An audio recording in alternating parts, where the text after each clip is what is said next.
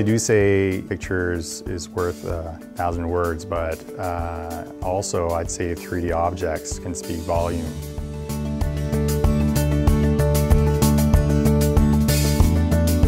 3D printing is basically you have a 3D object. It could be um, a terrain, it could be a building, it could be foundation, and then you convert it to a file format that you can then insert it in the 3D printer and then it understands that language. Whereas if we already have a 3D model made from a regular design process, we could just output that and print it. That would be awesome. And so that's kind of where this came from.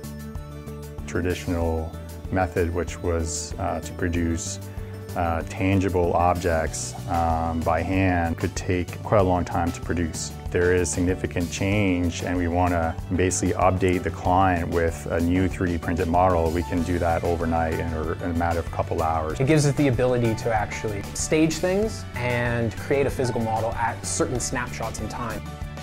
Cost is quite low, material is very cheap. You can print uh, multiple copies, uh, different scale, different colors.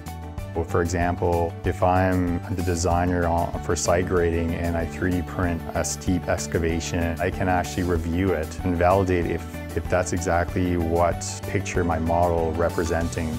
It gives you a physical thing of actually being able to see, okay, well how much, what is the grade, which side is the road sloping towards, that kind of, that kind of thing. There's nothing that really beats um, having a physical object uh, that's tangible in front of you that you can look at it in different angles.